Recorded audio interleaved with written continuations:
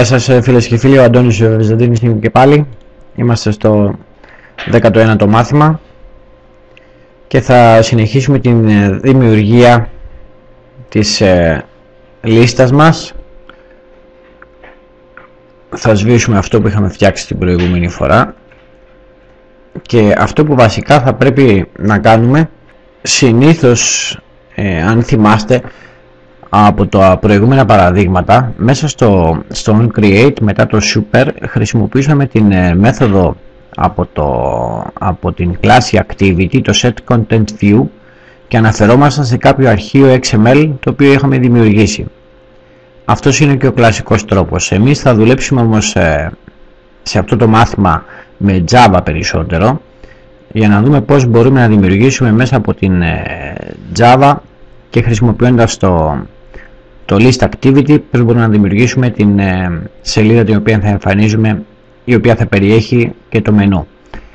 Ε, για να το κάνουμε αυτό γενικά θέλουμε λοιπόν ε, να δημιουργήσουμε μία λίστα η οποία θα περιέχει όλα τα στοιχεία θα εμφανίζει όλα τα στοιχεία του, του πίνακα που δημιουργήσαμε εδώ. Τα στοιχεία τα οποία θα εμφανίζει και θα χρησιμοποιεί θα είναι αυτά. Γι' αυτό το λόγο θα χρησιμοποιήσουμε ε, αντί του set content view θα χρησιμοποιήσουμε το set list adapter. Το πληκτρολογούμε πατάμε το control space και όπως βλέπετε αμέσως μας το εμφανίζει, το δεχόμαστε. Σαν παράμετρο του set list ε, adapter θα χρησιμοποιήσουμε ένα νέο ε, array adapter όπως λέγεται για να μπορέσουμε να ενσωματώσουμε τα στοιχεία τα στοιχεία από, την, ε, από τον πίνακα classes. Οπότε στην παράμετρο γράφουμε τη λέξη new και στην ε, συνέχεια το array adapter.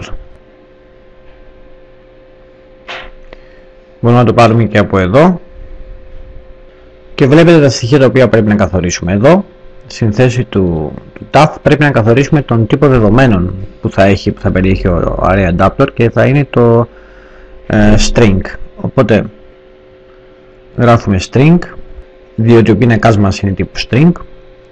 Αυτά τώρα μπορεί και πιθανότατα σε εσάς που δεν έχετε δουλέψει καθόλου με Java είναι λίγο περίεργα αλλά ε, πιστέψτε με μείνετε με το, με το μάθημα με την σειρά των μαθημάτων τη συγκεκριμένη.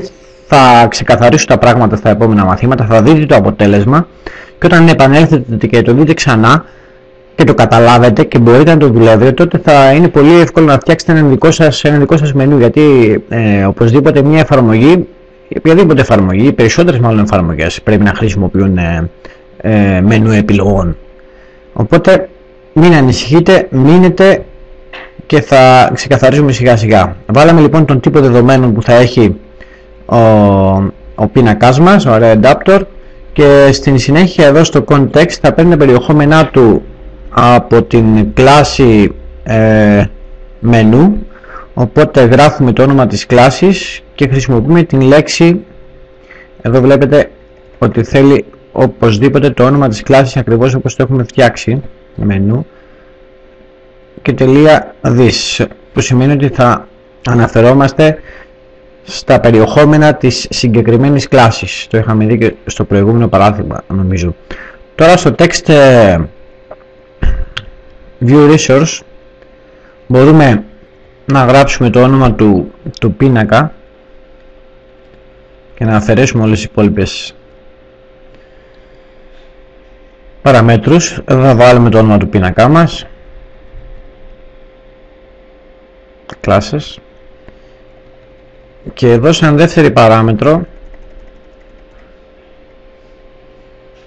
να κλείσω και με την με το ερωτηματικό και μας μένει η δεύτερη παράμετρος η οποία θα είναι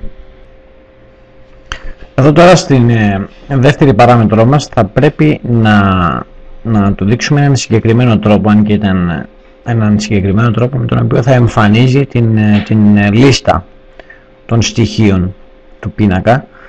Για αυτό τον λόγο θα χρησιμοποιήσουμε το, το R θα πάμε στο, στο layout. Και συγκεκριμένα θέλουμε το Android.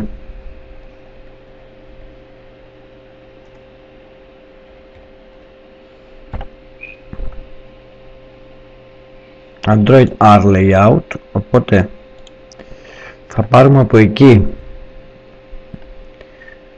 βλέπετε ότι έχουμε διάφορα στοιχεία τα οποία μπορούμε να χρησιμοποιήσουμε.